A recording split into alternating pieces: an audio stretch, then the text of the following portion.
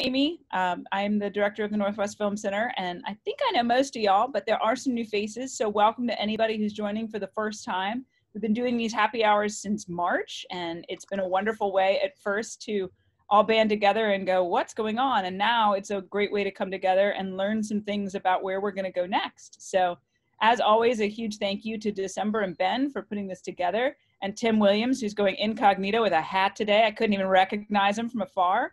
And Ben will introduce our panelists and folks, but as always, um, please, you know, put comments into the box so that we can get to your questions and also obviously tell your friends. We want this to keep getting bigger and growing outside of our regular circles. So if you have friends or students or folks even outside of Portland proper that you think might be interested in this, let them know. And last but not least, we are 20 tickets away from selling out our drive-in completely.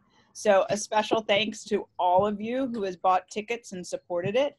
We uh, we believe in Cinema Unbound and building a drive-in from scratch during a pandemic might be one of the crazier, most unbound things North Northwest Film Center has done in a while. But just a huge thank you to all of you who have supported that effort. So I turn it over to Ben and Tim and our amazing group of, of panelists today. Thanks, everybody. Um, yeah, hello everyone. We're so glad that you could all be here. So um, really excited about this one. Um, so our first guest um, who actually reached out and triggered this whole conversation is Ashwini Prasad, how, who has the book How to Write Inclusively, an analysis and how-to guide that um, we'll throw in the comments of where you can take a look at and buy it. Um, and then we have David Poulshock, who's a screenwriter, is all who's in charge of the ISA chapter Portland. Randall Jahnson, a um, screenwriter who is also an instructor, has been an instructor with the Northwest Film Center, written plenty of stuff. And then we have Rebeca Gonzalez and KatMeow Garcia, who are both instructors at Open Signal, but also are, along with David, they were recipients of the Playa Resident Artist Screenwriter Residency Award, which um, is something that we did in conjunction with Oregon Film and Playa, and hopefully it will happen again. Um, so yeah, I don't know. Tim wanted to say anything about that before we get going, but. No, you covered it. I was just going to say I'm really happy that we're all here and that it does have a connection to Playa. And for those of you who don't know Playa, check it out. It's called Playa at Summer Lake. It's out in the middle of the state and it's an amazing place to go and, and sort of be inspired. Uh, David went. I know Rebeca and KatMeow, you guys still have to go, and we're we're we're holding money to make sure you do that because I think you'll enjoy it. Uh, so I'm really really pleased to have this kind of talent here. Randall actually has helped us with the Playa thing as well. So Ash, you're the only one that hasn't doesn't have the Playa thing, but I'm hoping that's coming up.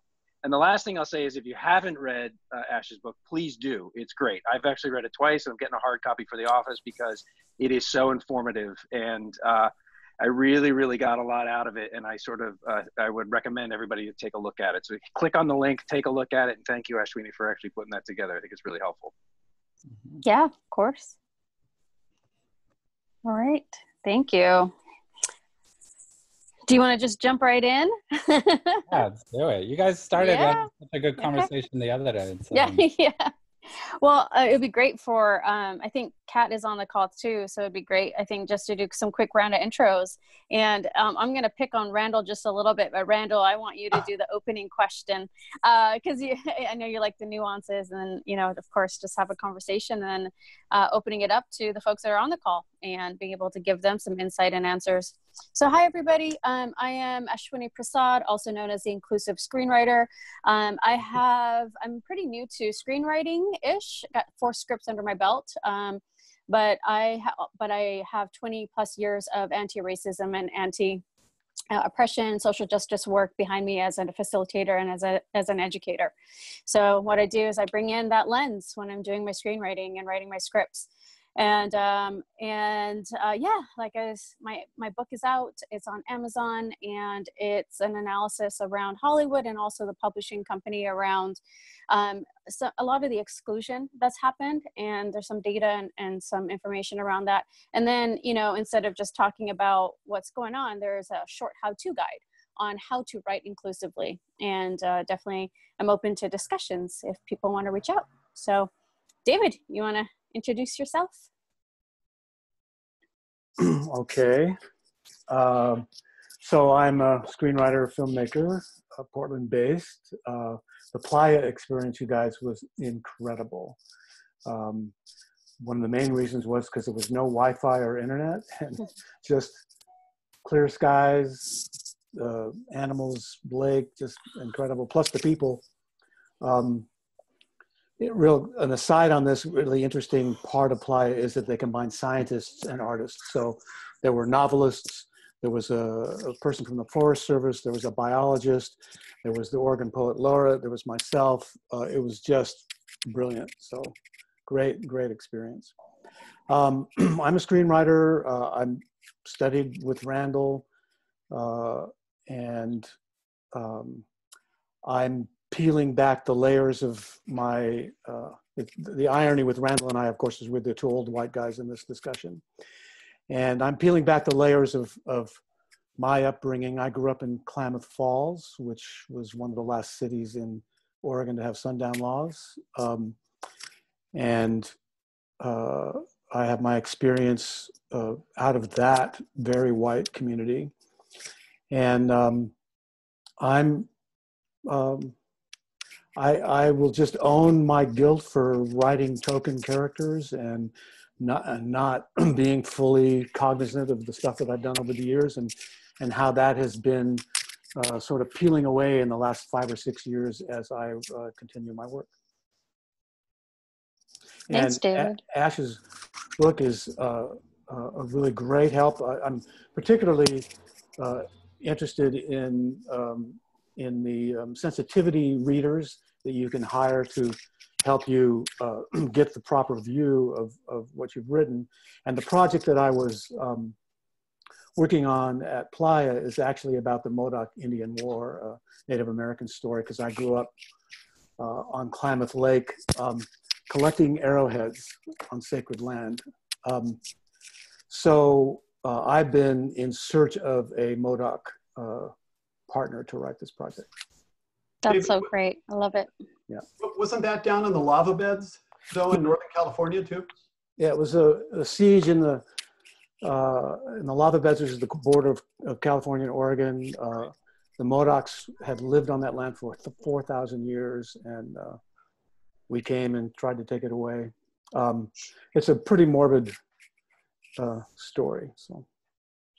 Yeah, I appreciate you uh, getting a co-author. I think that's fantastic, yeah. and that's something that I mentioned in the book. Just being able to to have that experience and having somebody to be another eye for you. Um, absolutely. Yeah.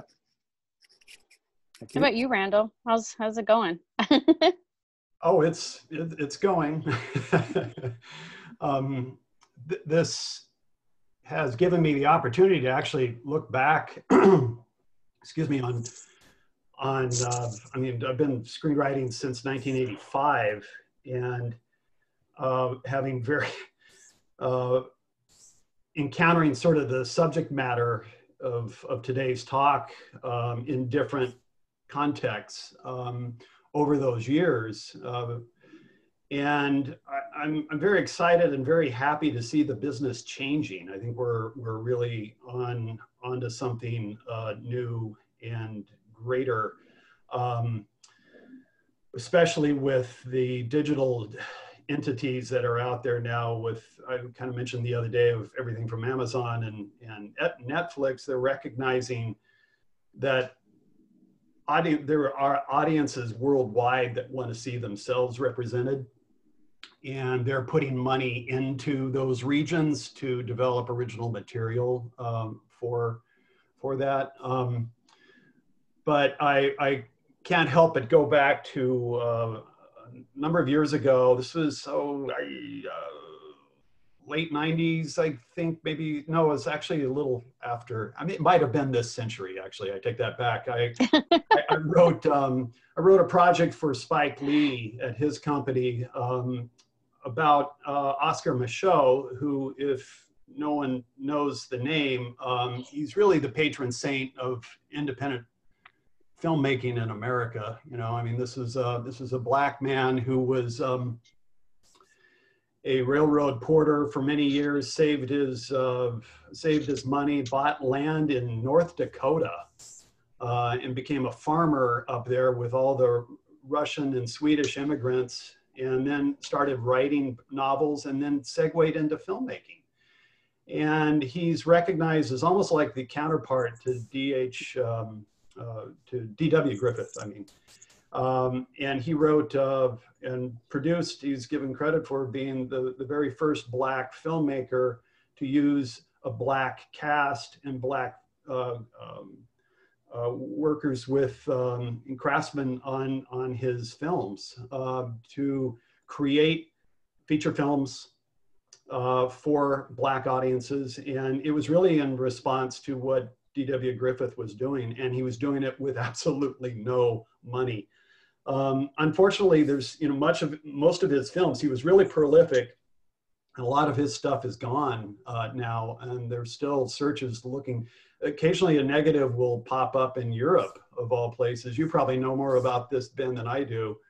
Um, in in terms of some of his stuff still surfacing in Europe, but anyway, um, the the point was is just that uh, I knew nothing about this. How I got the job, I, I still can't kind of figure that out, but I was very, um, very thankful for it because it opened my eyes to so much. I, I love research, and this um, this story in particular just opened my eyes to the Black experience in the late um, late uh, 19th century and then into the early part of the 20th century especially with with um, men who served in World War One and the and in the Spanish American War and this and that, um, and their fate, and then coming back, the riots in Chicago. There were riots in uh, obviously in Tulsa and all this stuff. But Oscar Micheaux was hyper aware of all this stuff, and that was going on, and felt a real need to communicate that to. Uh,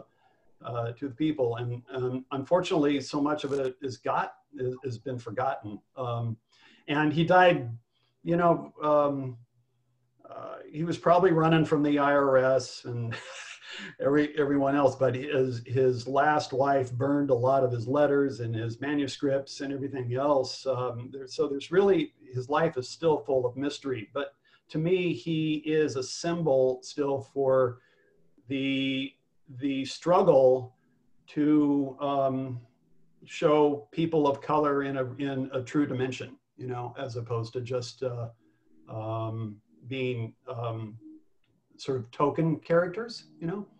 And, yeah, you know, yeah. I know that was a part of your of the lexicon of your in your your booklet um, of tokenism. Yeah, yeah, and we talked about this briefly, but it really is about that ability to to bring in the human element of all the people that we have and then the other piece of it you know what you're saying is like these names like how come they're not household names right, right? And so and you know like and so the audience knows too is like one of my missions is to bring back people that have been erased or marginalized from history mm-hmm. into our screens so Randall and i aside from him being like my one of my actually two of my screenwriting classes instructors he um, he and I bonded over World War One because uh, Randall, your family history and your interest, but also, um, you know, it took me decades to find out about these Indian sepoys, and so um, literally they were 1.3 million South Asian Indian soldiers that fought in World War One. 73,000 of them died, um, and 400,000 of that 1.3 million were Muslims. And so, you know, so where's the movie about that? You know, right. where are we seeing that?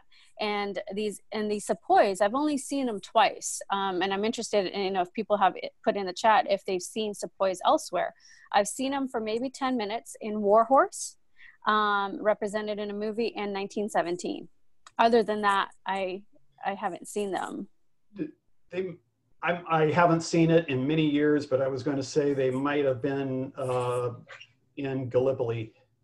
Uh, Peter Weir's film. I don't know. Does anybody else recall that? But I don't. Yeah. but yeah. definitely yeah. underrepresented. Upper, underrepresented. But it makes to your point, right? That we're and I know that Rebeca and Kat also talk about decolonization is just again why aren't they in the front forefront of our memories and so if we really want to see this inclusion household names uh, we you know media is so powerful and so being able to bring them back or have them represented through something on Netflix, through a feature whenever we can get back into movie theaters, or you know the YouTube clips. You know, some you know so many variety of how we have all of these um, all of these different ways of getting content today. Why aren't we seeing them?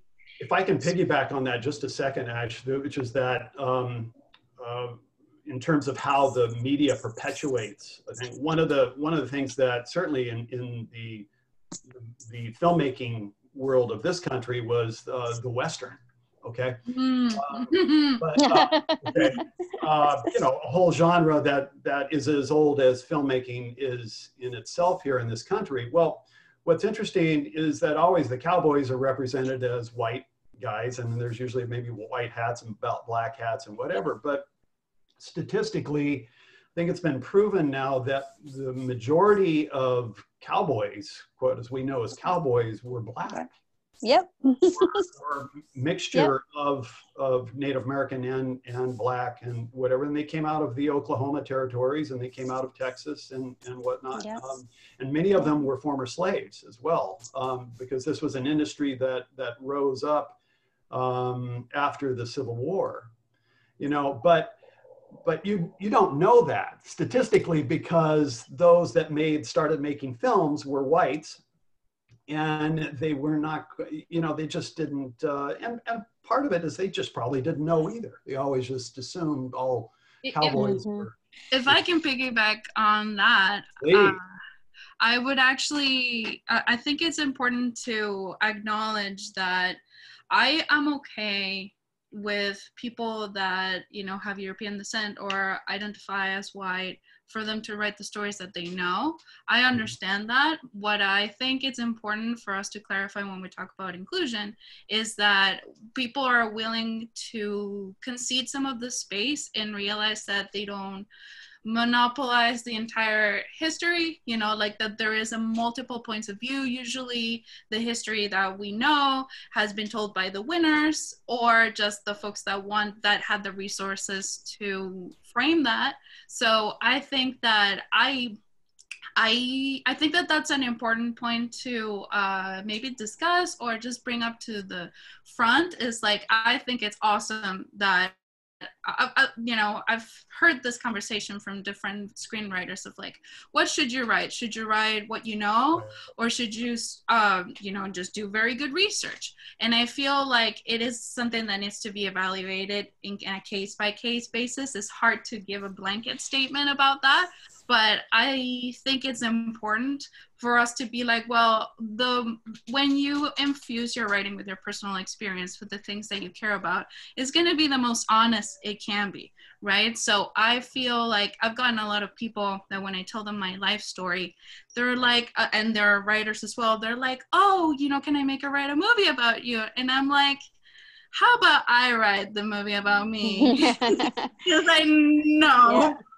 um, we can maybe collaborate you know it's that kind of situation where uh, and, and i feel like uh, uh, i also you know i'm a very white passing person. I was born in venezuela. I have some european ancestry um, but i also have indigenous ancestry uh, and black ancestry. So it's it's a weird place to be sometimes and um, I'm kind of losing my train, my train of thought, but I wanted, yeah, I just wanted to say uh, I totally, I'm totally down for people just sticking to the stories that they know, but that they should try to think about like what has not been said before and how can instead of me taking up that space for that person how can we raise this other person so we can collaborate together and then make this project more inclusive uh, and whatnot. Yeah, no, I totally am with you. Yeah, yeah, David. If I could piggyback just briefly, uh, you know, it starts with the history books and the and the problem. Uh, and Rebeca, you just mentioned it. You know, who t- who who tells the history? Mm-hmm. And right now, we have school boards in Texas and places in Oklahoma that that you know write out of history stuff that other people have tried to put in. Um, so what strikes me about that is you know history is being mistold and has been for a, a long time, uh, then it's incumbent upon us as filmmakers and writers to, uh, to as best we can right that wrong. Does that make sense? Yeah, no, I, Because- I do I agree. because the textbooks are not in control are not are being controlled by people who who uh, resent the truth Right. And I actually, in terms of textbooks, I think that we, a part of colonization, had told us that uh, that the only history that is right is the one that we can prove and go back to uh, textbooks and and ruins and prove and, and you know and reference back and there's so much untold history that was literally beaded from people you know like my my husband he's micmac from um from canada and this is a big thing of generational trauma that sometimes um you know some some books get wrong facts about his people that his grandmother things that his grandmother told him. And it's like well you know i totally understand that we you want to be able to when you do your research go back to things that you can trust. But i think that we need to keep an open mind and realize that because of what we think education is uh, we should really uh, also prioritize, prioritize talking to people directly um, and realize that a lot of these people like you know uh, a lot of mexicans for example uh, i know that probably kat can speak better about this than me but it's crazy how much connection to the into indigenous cultures mexico has and folks because they're colonized because being tied to being an indian is a bad thing uh, for them or socially, uh, they denounce that part of their history. So even though they look like they're people of color, they don't. They're scared to know to go back to their roots and find out where they come from. And I feel like whenever there's someone that um, that wants to create a more cultural story, you know, that goes outside of the day-to-day lives in the present that we live in I would like to encourage people to go back to your roots because at some point, all of us were tribal. You know, like before thousands of years of war, everybody had some connection to the land, some connection to, you know, the seasons. And all of that is also underrepresented. And that is the place where I think white folks can like reclaim what is theirs you know what is and and that way they can also in a way stay in their lane if that makes sense of like they can empower themselves about like this part of their story that hasn't been told that many times have been washed by christianity you know? Uh Yeah. there's a problem with christianity you know? Totally that's totally cool but i think that we should just it's like uh of being open-minded to the possibility that there's other perspectives to history that have not been told if that Yeah, no, absolutely. And I get asked this question actually. Um, so, you know, it, should white people only write about white stories? Okay. And so my whole thing is look, let's look through this lens through equity and justice. So I'll give a personal example. Um, there is a fascinating story about the six triple eight, and they uh, were an all African, uh, all black woman U.S. American battalion, and they were um, they served in uh, England and in France. I that's an awesome awesome story. But I know through my an equity and justice lens, so equity representation, justice in terms of fairness. I only want to write that story with a black co-author uh, co co-screenwriter and then you know when i want to get a producer or a director um, tied to it i do want it to prefer, my preference would be a black director or a black producer um, because all along the other lines there'll be different people who will be influencing how the story will go but as much as i can influence as a screenwriter and somebody who doesn't can't, is not black um, how can I bring this story and how can I bring equity and, and, and justice to the story? Um, and, you know, and I, like my, I have a um, TV dramedy um, and it's a South Asian um, female lead. And so I feel confident and good about writing about that.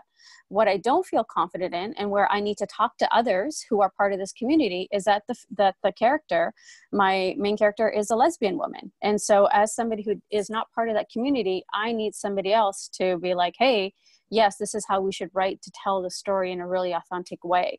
And so i think that you know we can't say no you can't write this because you came from this part or your ancestors that's exclusionary. Like that makes no sense. Um, but we can be much better about what stories are told what truths are told through like you know oral traditions that were passed on versus um, like uh, randall was just saying you know the burnt um, uh, letters or memos or scripts you know who knows where all these things are. It could be at, a, at some garage sale right now. I mean you know like it really could be and it's like oh my gosh there's this rich history there. Um, and, and so it's just it's it is really you know if we really want to talk about inclusion it's bringing all that and really bringing in a frame of reference when we're writing is how am I being equitable about what I'm writing and how am I bringing this fairness, this justice to the story instead of going into really harmful stereotypes. And this is where when we talk about the media, the media is actually fantastic in terms of being able to get content. But when the content is influenced by characters or really one or two dimensions instead of the real human element, we end up you know when i don't know something i go to media. And so if my media is biased or i don't know where to go for the authentic ways of looking and i highlight in this book of ways where you can get into getting more authentic views about the characters you want to write if you don't know about them is you know we need to change our media. And i think that is that's really powerful. Um, and and even though it may be hard to get some of our items you know produced and it's getting easier i do absolutely believe that. Um, but you know where do we do as as a starting point as writers? What do we do to influence the media and everything that we're consuming? I think that's such a it's an important conversation. And being able to have the conversation that's really honest with folks um, is for me is really important. I think I just, that oh i think um is that Kat point yeah. yeah, this is KatMeow. Um, this points to something that has been brought up in a lot of media circles that I've been participating in recently, um, talking about one, the voice, like paying attention to whose voice it is and actually having the real voice, the oral history, if you're talking about historical, or the person who was actually involved in the story being told. And then the other part is uplifting people by opening a door when you when you are in a position that you have a you may have a script that's being uh, looked at that you're gonna uh, or a story you're gonna write um, being sure that as you go through life you're opening a door for someone else as well um, and that you continue to remember that that's it's integral in a change happening is is for us to share the privilege no matter how small I love that. Yeah, and it's so true. And it's it's that collaboration piece and what Randall was saying and David is like how much you can learn. Um, really quickly before I get back to Randall, Randall because I know he's got questions for me because he likes nuances. Um, what what Randall was saying about um, the Black Cowboys is actually 100% correct. And um, if you want, you know, if folks can follow me on Instagram, I actually have the story of Bass Reeves. And Bass Reeves is the uh, is the that we know of is the first uh, U.S. deputy marshal west of the Mississippi, and he was actually a fugitive slave for a number of years, and so he was living amongst the different uh, nations in Oklahoma. And so he actually learned their languages and he learned their customs. And then when 1865 came around, well, hey, we need somebody um, to be able to understand the culture in Oklahoma if we're you know if we're going to be um, I, unfortunately like looking at the land and you know seeing there's criminals around um, so he ended up being the best person for it because of how much he knew about that land. Um, and what's interesting is that when you read about him um, folks say that he was the orig- that he was the or- origin of the lone ranger but he's never shown as a black man. He, the lone ranger that i grew up with was a white man um, but I think that retelling and that inclusivity is coming back when, if, for folks who might have seen uh, The Watchmen mm-hmm. on HBO, because they they they show a black cowboy um, and a black um, uh, Lone Ranger. So I think that's fascinating. Well, that Watchmen starts with Bass Reeves in a silent film. Um, uh, Bass Reeves is like a rock star in my in my world. So I, me too. He's amazing. Uh, he's you know he actually he he fathered about sixteen kids, and and um, uh, arrested one of them uh, for murder. Um, yeah, so, yeah. so I mean that's a story in of itself. This was a tough guy. Yeah. Um, but he he was in law enforcement for many, many, many years, and was illiterate, um, but spoke four or five different of the of the nation's dialects uh, Yeah. out there. And and see what what most people don't know, and I'll, I'll get off my history wagon. here in a No, second, it's but- but- inclusivity, but it's right, or it's all about yeah, this, right? um, the the Oklahoma or, the Oklahoma territories, or what was called Indian Territory at that time, was formed by the five civilized tribes that had all been removed to different parts, you know, and and, and set up out there. But they they had their own police force forces, and they had their own sense of of justice. Um, so just because you were Native American doesn't didn't mean that you like the Kiowa or the the Cherokee got along with the Chippewa or whatever. They had different customs, different languages. The Modocs were there too, Randall. Oh yeah, they're okay. Well, I was out there too because of uh, of the Miami Indians that I was writing about again at, in in the later uh, time period or different time period. But um, uh, it was uh, it was fascinating because only federal officers, law enforcement officers, could go in there um, into the nations um, because white outlaws would go in there and hide because the Native American law enforcement uh, or police or the light horses they were called, they were they could not arrest white men, Mhm. And only only federal marshals could go in there and arrest white men. So it was a really interesting you know time period, and Bass Reeves was just uh, was able to go through navigate through all of that and was just quite Yeah. quite an amazing character you know um, an amazing guy And this is the thing is that he should be a household name.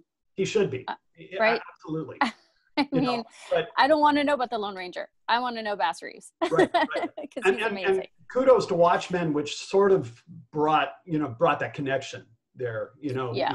in, in terms of that, they reinvented it in in a way that was um, I, I thought was was very clever and and and good. But it's still it's not the Bass Reeves story. Now there's a lot of there's a lot of uh, of of fiction around Bass Reeves as well and myth Mhm. um, because again these are these were people who they didn't have um, their champions uh, really around, uh, other than Judge Isaac Parker, at the hanging judge at Fort, Fort Yep. Smith, who Yeah. uh, loved him. and and that's the thing is like you know it's about opportunity but it's also like folks have been around so and we should be Yeah. we should be talking about them and how much they've influenced our current culture so let me I can tell you, like topically, there or more recently, um, at least through my childhood, something that pointed me towards just even having the thought that oh, a black man could be a cowboy was um, Laurence Fishburne as Co- Cowboy Curtis in Pee Wee's Playhouse, and I- and that Mm. literally started my brain thinking, wait a minute, wait Lau- I'm Lawrence. going to start to think about this. Wait a minute, because I had never before him seen a black cowboy. I did grow up in Idaho too, which is a whole other thing, but Right. I Uh, also would like to comment on that. Uh, on on not. Well, okay. Well, that. I'm sorry. This just reminds me of the fact that I think we should remember that because Hollywood is such an influential uh, machine when it comes to film, like what we create here in this country, even if it is on a local level, it is very impactful because of imperialism on to other countries. So because I grew up in Venezuela, and I, I don't think I even introduced myself, but uh, my name is Rebeca. I was born in Venezuela, and uh, my native tongue is Spanish. Um, it's very hard to be able to work in English and write in English, but I managed it. and I always have this little fear in the back of my head that I'm making like a tiny little mistake, and you have this pressure of like, well, you're representing a bunch of people, so you have this really high standards of like trying to, you know, do your best to pe- put that you know, the best foot forward of the folks of your community, right? But uh, but I grew up in a space where all I wanted to do was be an Americanized kid. Like that's what the cool movies and, and TV series that I was watching. That's what I, I felt like there was something wrong with me because there was no one like me in film or TV. And to this day, it is still a struggle sometimes to be able to say, hey, you know what? I am allowed to show up as I am. and to occupy space and to, um, you know, write a screenplay that is perhaps bilingual or to address the fact that um, I went to a Catholic church for 14 years and I was around a lot of toxic femininity and a lot of like teenage drama situation. Like I wanted to run away from that as much as possible. So I turned to American TV for that. But now living here and realizing like the richness of what it meant to grow up in Venezuela and like how much um, how important you know it is to connect back with your roots and your ancestors it makes me kind of relive some of the things that i thought weren't bo- were boring like you know what we're telling to future generations by being more inclusive with our writing is saying you know you're allowed not only that these people exist and that we should consider them but the folks that are actually diverse they feel like, oh my God, you know, there's other people like me. Like that is incredibly empowering. And if that didn't start to happen uh, in this golden age of television that we live in right now, I don't think I would have considered going through film. I think I would have like put my head down and said, "Oh, well, you know, communications. Maybe be a reporter." Uh, even though I hate being in front of a camera, um, but I do think that, you know, obviously we have to create something that moves us first and then helps other people. But but to be to just be aware, the same way that we can be more sustainable, you know, like when we buy something, we can think about like what's going to happen to that thing after we're done with it. Uh, we can also think about, you know, what what good can we do with the story? What kind of thought provoking themes do we want to bring forward? So. I love that. And, you know, I'm like getting chills on a summer day when you say that for two reasons. And then, Randall, I'll get to your question. Thanks for your patience, Randall. Um, is that when I saw Never Have I Ever on Netflix, um, literally that was the first time I'd seen a South Asian Indian woman lead, a uh, young woman lead for the first time. And I write about this in my book is that um, the belonging I felt and the cultural nuances because it was written, some of the episodes is written by Mindy Kaling from The Office. And so I, and I can relate to that. And literally first time, it was absolutely amazing. And I was on a podcast a couple weeks ago with a woman who's a quarter South Asian Indian.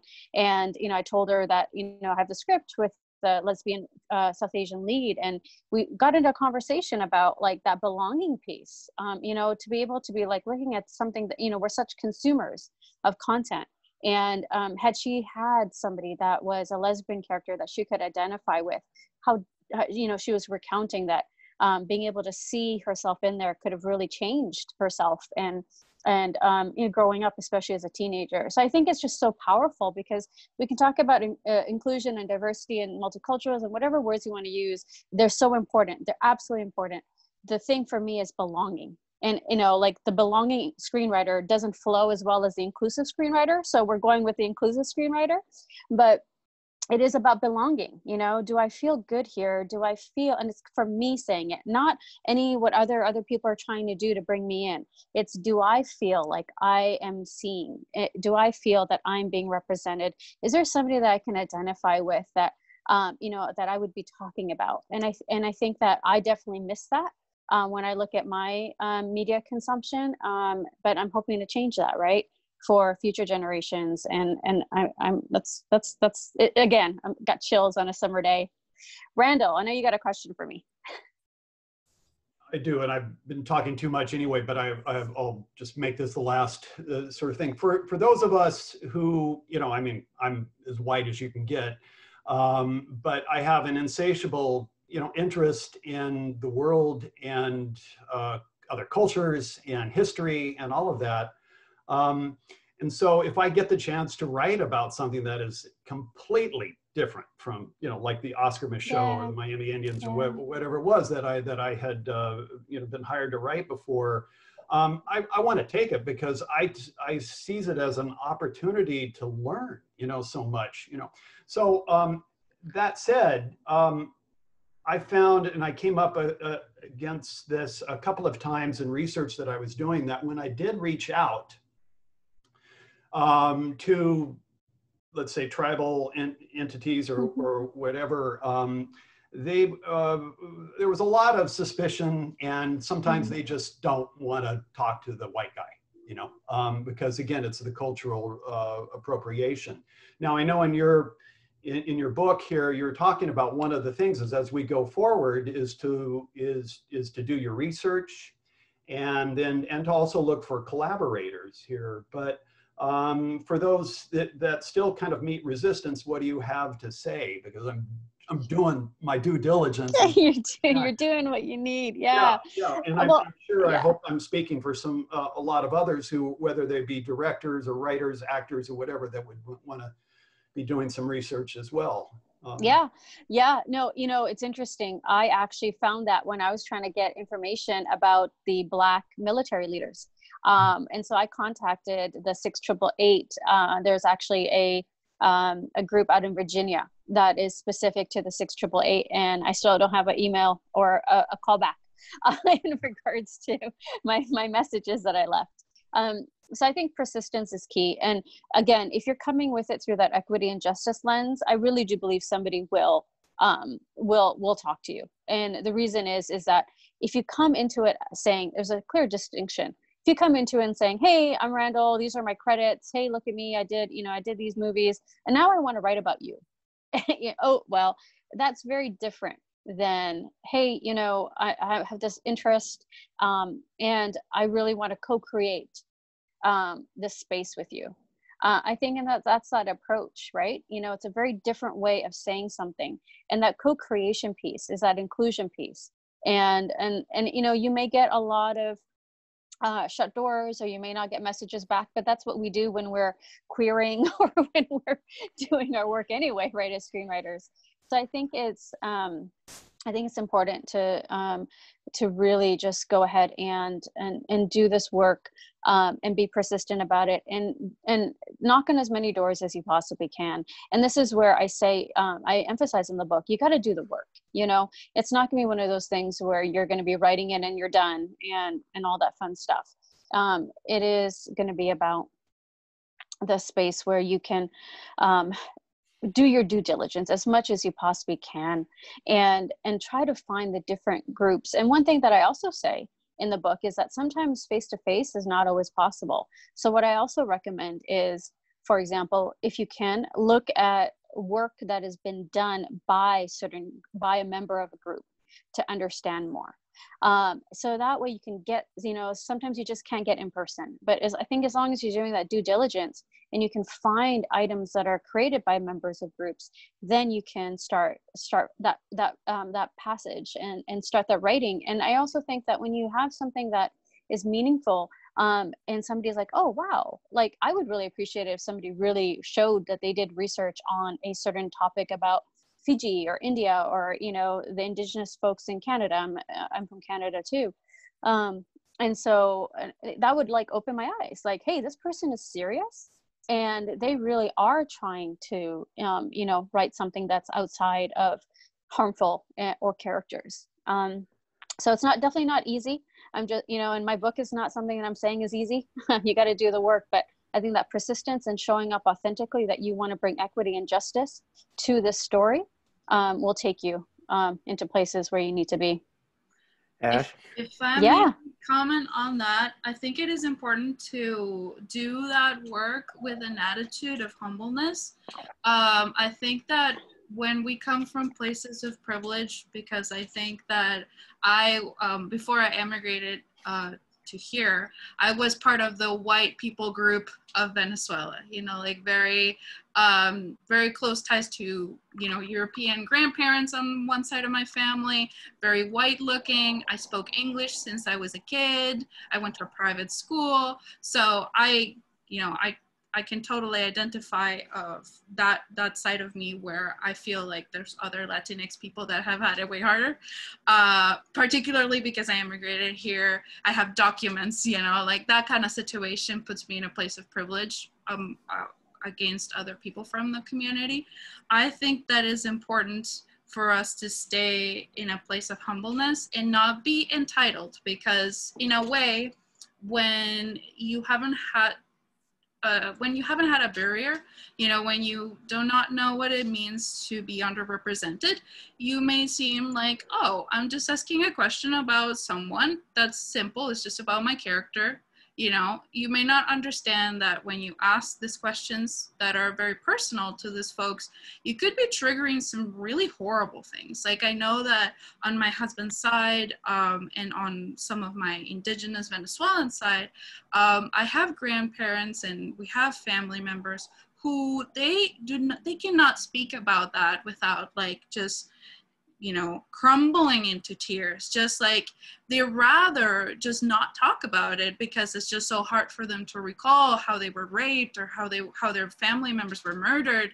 And like it's this really weird place where you can, you know, I feel like again if you're coming from a nice place when you're being honest and you're being accommodating of like you know these things can be really triggering for some people and it requires a lot of emotional labor to be able to explain it to someone who doesn't know you know being uh accepting that and realizing that that that it takes extra well it takes time and it takes effort. If you can also compensate people that provide you with guidance i think that that's a definitely a big way to be able to say you know like i see you. I appreciate your time. Um i i agree that what happened to you it's tough. And i think that KatMeow and i have a very special relationship because in the ways that i have issues talking about my past and my trauma she empowers me and she's shared with me that I'm able to help her do the same. So 100%. Yeah. Yeah, I'm with you. Uh, just to your point, I do mention that um, you got to provide some type of compensation. And sometimes people may be like, no, that's okay. But if, you know, but if, but ask them what they would like. And you have no, no privilege or no right to, for somebody to share their thoughts with you and you and i and i get even asking maybe triggering and this is you know i don't have all the answers around that. I can only help guide um, but i think it, it's how you do it 100% and and that no one owes you their time. You know they don't because um, i don't want to talk about my oppression with everybody um, but if you pay me sure.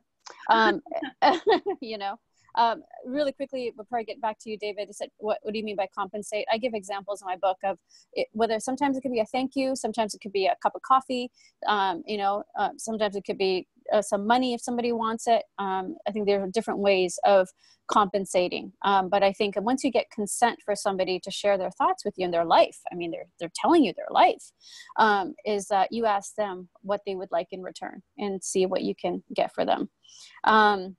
David, you're going to ask a, uh, a question. Yeah, I mean, going off of Randall's uh, point about working with the native tribes and Rebeca, your um, uh, humbleness, uh, and Ash, in your book, part of this is, you know, um, creating a relationship, a collaborative re relationship, and not being afraid to ask questions and asking permission to ask questions and and to be uh, you know and to treat that whole process with respect. Both all three of you are saying that, and I've done a bunch of work with the Yakimas, and I was brought into um, and this is an example of of how sort of jarring and and uh, uh, heavy this the, the, that approach can be.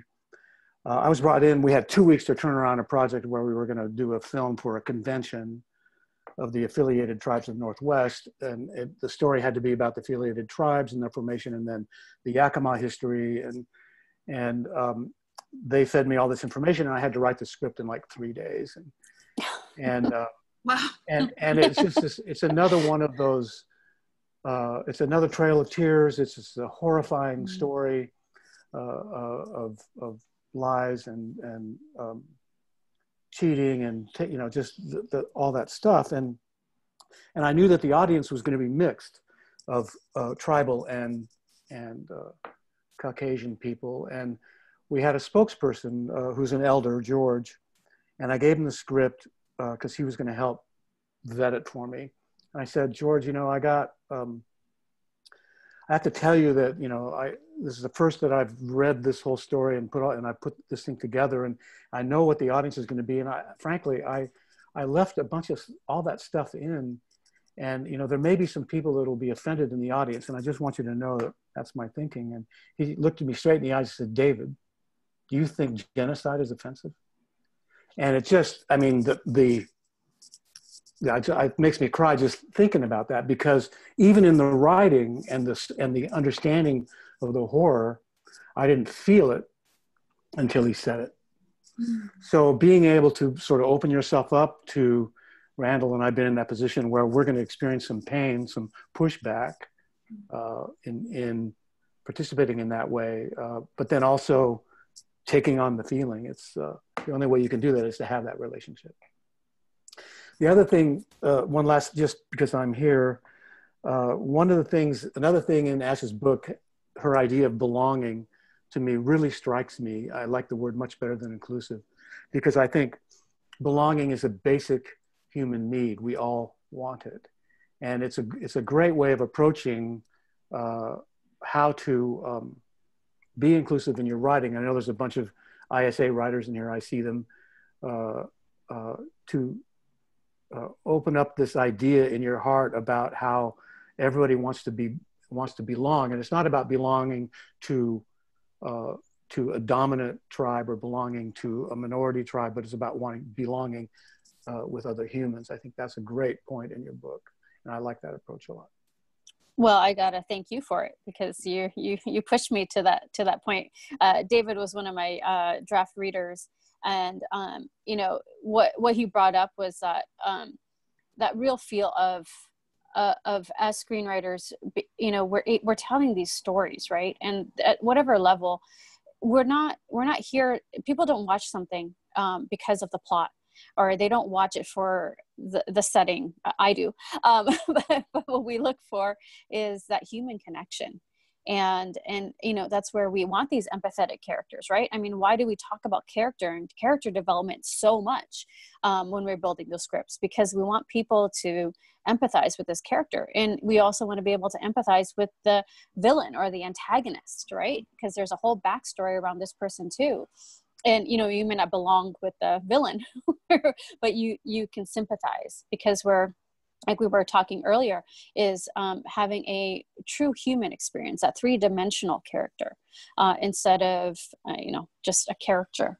Um, that i think when we are um, when we are in a space where there is um, where we're not really showing that human person and showing how they belong or showing different folks um, to get us to a space where we're really showing belonging um, we're missing out. And and how can we also translate that to well i saw this character you know what does that mean for my neighbor? And i think you know because power media is so powerful um, we have such a great space and opportunity to um, to really bring um, to bring all of this and bring you know that belonging that representation um, to not just our screens but also in our hearts and to the world.